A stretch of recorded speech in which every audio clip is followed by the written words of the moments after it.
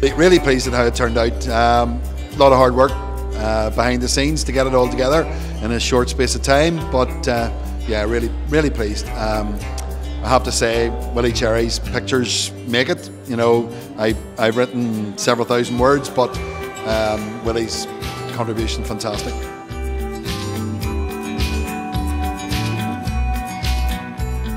Yeah, it's fantastic. Nigel um, has done a brilliant job with it, along with the, the pictures that obviously William uh, Cherry has taken as well. It's fantastic to see the, the journey that this team's been on over the last couple of years has been amazing, and it's fantastic to see that all put down on paper uh, for everybody to flick through and, and to remember those times. Um, when you're when you're behind the scenes with you know that's what my job is behind the scenes. Um, sometimes you, you kind of sometimes forget what a, you know what an impact the fans have, but everybody was just blown away, especially at the end of the England game. And I mean, I watched as I was out in the pitch just behind where they were, and the loads of the England uh, players um, applauded and said they're great, they're great, you know, which was great, and uh, I really enjoyed that side of it.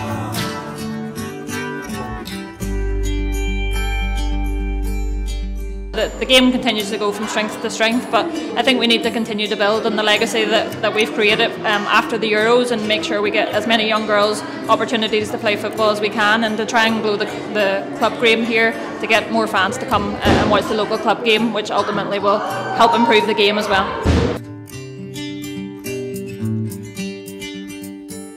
Marissa, when she was, we are having a chat with her there about the book, you know, she said about the groundswell and, and you know, the girls are people are recognising them now in the street and in restaurants and stuff. Funny, I was in a coffee shop a wee while back and a couple of girls were there and people were over asking them for their autographs and things like that. That just wouldn't happen a few years ago. So it's great that the whole thing has it's lifted up the whole women's game. And I know from like I have a daughter who plays, and even in terms of where she plays, there's more girls playing the game, wanting to play the game, coming down, taster sessions, all the rest. So it's all good.